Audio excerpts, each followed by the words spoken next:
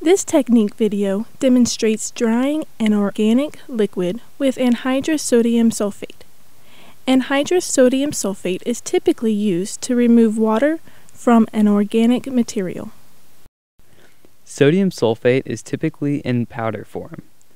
Take a scoop of anhydrous sodium sulfate and place it into the Erlenmeyer flask.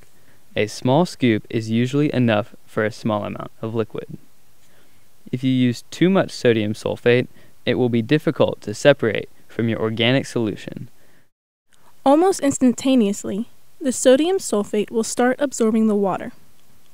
Gently stir the Erlenmeyer flask using a circular motion to make sure all the water is absorbed. When the sodium sulfate swirls freely in the flask, the solution is water-free. You will notice the sodium sulfate will aggregate to the bottom of the glass the sodium sulfate will stick mostly to the glass and form clumps, making it easy to separate. Now take a clean beaker and pour the dry liquid into it carefully. You will notice that the majority of the sodium sulfate will stay at the bottom. Do not let the sodium sulfate be transferred to the clean beaker. If needed, you can use a glass funnel with filter paper to separate the sodium sulfate from the mixture.